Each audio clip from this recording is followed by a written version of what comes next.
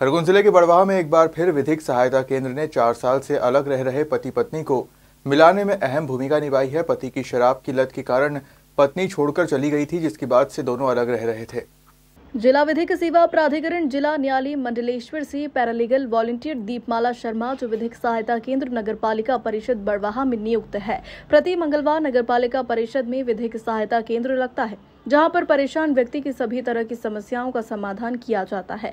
इसी क्रम में चार वर्ष से परेशान गायत्री चाकरे अपने पति महेश से अलग रह रही थी। दोनों को विधिक सहायता केंद्र बुलाकर समझाइश दी गई, जिसके बाद दोनों एक और हो गए और हमेशा साथ रहने का वादा भी किया है।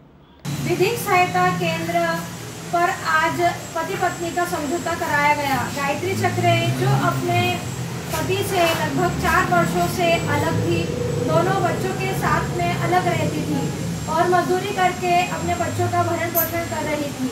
विधिक सहायता केंद्र पर वह आई और अपनी समस्या से अवगत करवाया, जहाँ उचित समझाई देकर आज उनका समझौता कराया गया।